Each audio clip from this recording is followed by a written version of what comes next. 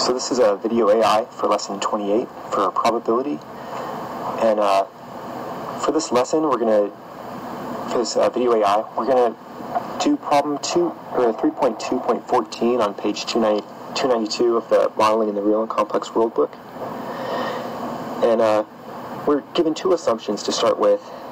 First of all, we're going to assume that each year the U.S. economy will be in one of three states, represented by the figure below, where each of these arrows represent the probability that the economy will move to another state the next year. And our second assumption is that this year is a recession.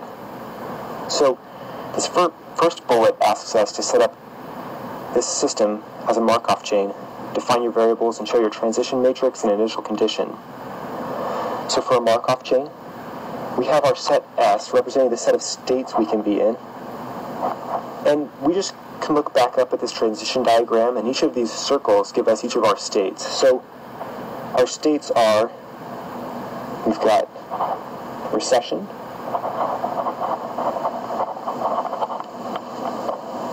we have a bull market, and we have a bear market. And a Markov chain also has to have this n by n transition matrix. But before we go straight to there, let's build a transition table first. And our table starts by we're going to we're going to look at the columns first. Now columns represent where we're coming from. So we are coming from either a recession or from a bull market or from a bear market.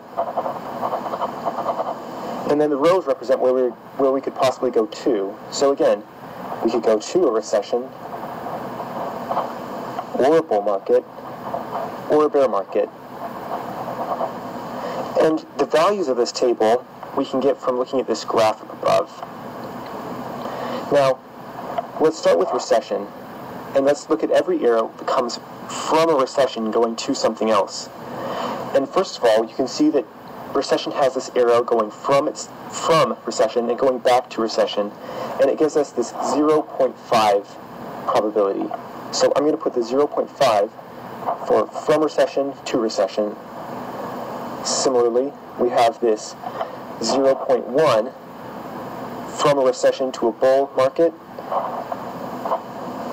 And then lastly, we have this 0.4 from a recession to a bear market.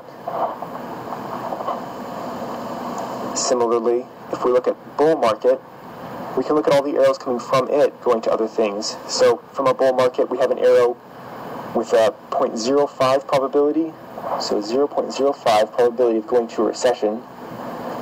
It has a 0.8 probability of staying in a bull market, and a 0.15 probability of going to a bear market. And then lastly, we can fill this out for a bear market. We have a uh, bear from a bear going to recession with a 0.2 probability, a bear to a bull with a 0.2 probability, and then finally a bear to a bear with 0.6. Now from this transition table, we can get our transition matrix T. And T just has all of the entries from this table from before. So we have this 0.5, 0.1, 0.4, 0.05, 0.8, 0.15, 0.2, 0.2, and a 0.6. And that's our transition matrix. And the last thing we need for a Markov chain is our initial probability vector. So I'm going to say our initial probability vector, this p sub 0, is going to equal a column vector 1, 0, 0. So it's hard to say what this prob what this initial uh, the initial uh, probability vector means without defining what each of these variables are. So let's look at this top one, this p sub 1 comma n. And I'm going to define this as being the probability the economy will be in a recession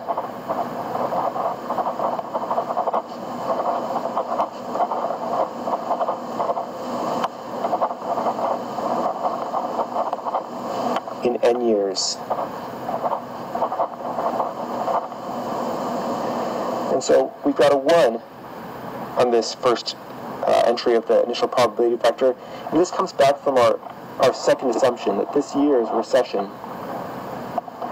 So similarly, we have p sub 2 comma n, and this is the probability the economy will be in a bull market.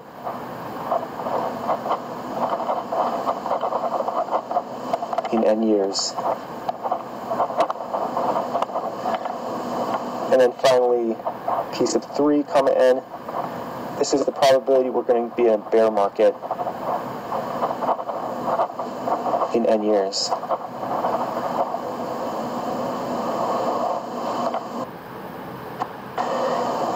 So we're given uh, the next bullet, which asks us, what is the probability that you will be in a recession, bull, or bear market next year? So to, so to find this, what we're actually trying to find is this vector p sub 1. And we can compute this vector by multiplying together our transition matrix T with our initial probability vector p sub 0. And at this point, you could do it by hand or you could do this matrix multiplication using uh, Mathematica. And I guess I would recommend Mathematica because although this one may be easy, the next two are going to be quite a bit more difficult. Either way, your answer will be this column vector 0.5, 0.1, and 0.4. Now, we've just defined these, these variables, but let's talk through this one more time. What this means is that in one year, you'll have a 0.5 probability, or 50% chance, that you'll be in a recession, a 10% chance that you'll be in a bull market, and a 40% chance you'll be in a bear market. So the next question says, what about 10 years from now? So similarly, you can use this same method, computing P10, and we can use our analytic solution outlined in section 3 of uh, this of this section and we say the P10 equals this transition matrix multiplied together 10 times, then multiplied by our initial probability vector. And this equals the, the column vector 0.192, 0.445, and 0.358. And again, there's a 19.2% chance we'll be in a recession, uh, 44.5% chance that we'll be in a bull market and a 35.8% chance we'll be in a bear market in 10 years. And then it asks us, after many years, what is our probability? So, I don't know, how many how many years should we decide?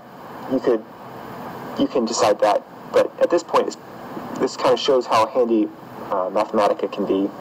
So, if we decide that a thousand years is enough time, we could say that P of 1000 is equal to this transition matrix multiplied together a thousand times with itself, and then multiplied by initial probability vector. And the answer becomes a point 189, a point 453, a point 358, and again, this is just the probability that after many years you'll be in a recession, a bull market, or a bear market. And the next bullet asks, does this long-term probability change if we're in a bull market today? So if we were in a bull market this year, the only thing that would change about our problem is our initial probability vector. So instead of having our probability vector defined as the column vector 1, 0, 0, we now define it as 0, 1, 0. And you can perform these same operations again, finding, you know, this uh, p of 1000, but with this new with this new uh, initial condition vector, or initial probability vector, and then you're going to come to the same answer. And then finally it asks, what if we were in a bear market today? So at this point, our initial probability vector is going to equal 0, 0, 1. But again, if we if we use this initial probability vector uh, to find out p of 1000, we're going to come to the same answer. So regardless, this new p of 1000 equals, again, 0.189, 0.453, 0.358, and down here, with this other initial probability vector,